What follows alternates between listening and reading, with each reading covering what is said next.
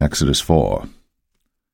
And Moses answered and said, But behold, they will not believe me, nor hearken unto my voice, but they will say, The Lord hath not appeared unto thee. And the Lord said unto him, What is that in thine hand? And he said, A rod. And he said, Cast it on the ground. And he cast it on the ground. And it became a serpent. And Moses fled from before it. And the Lord said unto Moses, Put forth thine hand, and take it by the tail. And he put forth his hand, and caught it. And it became a rod in his hand, that they may believe that the Lord God of their fathers, the God of Abraham, the God of Isaac, and the God of Jacob, hath appeared unto thee. And the Lord said furthermore unto him, Put now thine hand into thy bosom. And he put his hand into his bosom. And when he took it out, behold, his hand was leprous as snow. And he said, Put thine hand into thy bosom again. And he put his hand into his bosom again, and plucked it out of his bosom. And behold, it was turned again as his other flesh. And it shall come to pass, if they will not believe thee, neither hearken to the voice of the first sign, that they will believe the voice of the latter sign. And it shall come to pass, if they will not believe also these two signs, neither hearken unto thy voice, that thou shalt take of the water of the river, and pour it upon the, the dry land, and the water which thou takest out of the river shall become blood upon the dry land. And Moses said unto the Lord, O my Lord, I am not eloquent, neither heretofore nor since thou hast spoken unto thy servant, but I am slow of speech and of a slow tongue. And the Lord said unto him, Who hath made man's mouth? Or who maketh the dumb, or deaf, or the seeing, or the blind? Have not I the Lord? Now therefore go, and I will be with thy mouth, and teach thee what thou shalt say. And he said, O my Lord, send, I pray thee, by the hand of him whom thou wilt send. And the anger of the Lord was kindled against Moses, and he said, Is not Aaron the Levite thy brother? I know that he can speak well, and also, behold, he cometh forth to meet thee.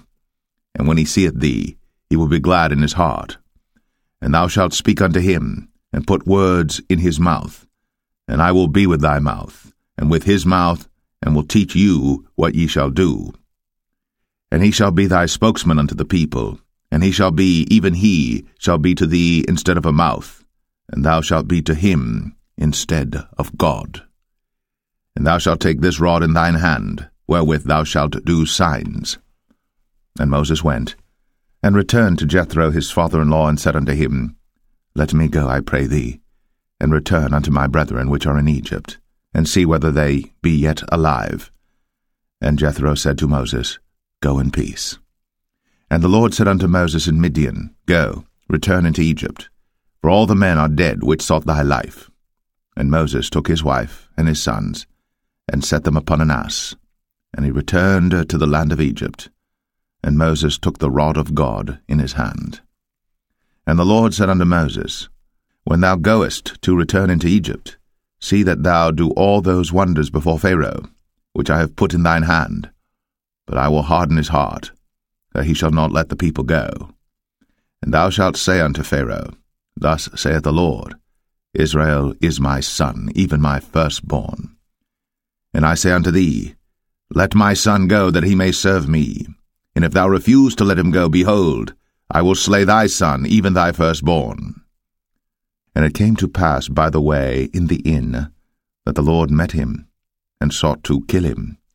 Then Zipporah took a sharp stone, and cut off the foreskin of her son, and cast it at his feet, and said, Surely a bloody husband art thou to me. So he let him go. Then she said, A bloody husband thou art, because of the circumcision. And the Lord said to Aaron, Go into the wilderness to meet Moses. And he went, and met him in the mount of God, and kissed him. And Moses told Aaron all the words of the Lord who had sent him, and all the signs which he had commanded him. And Moses and Aaron went and gathered together all the elders of the children of Israel.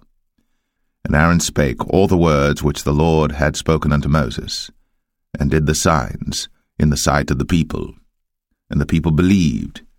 And when they heard that the Lord had visited the children of Israel, and that he had looked upon their affliction, then they bowed their heads and worshipped.